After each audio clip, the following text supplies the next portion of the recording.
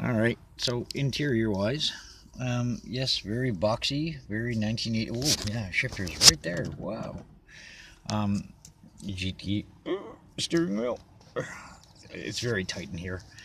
Um, sunroof, rear glass, all that stuff is good.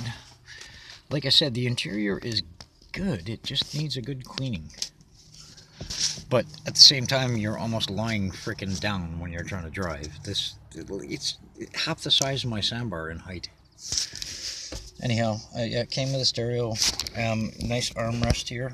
Like you just put your arm down, and oh, bang, bang, bang, bang, the gears.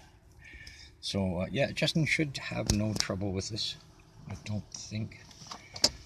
Like I said, you're almost freaking lying down. So cool. Can't even see the hood.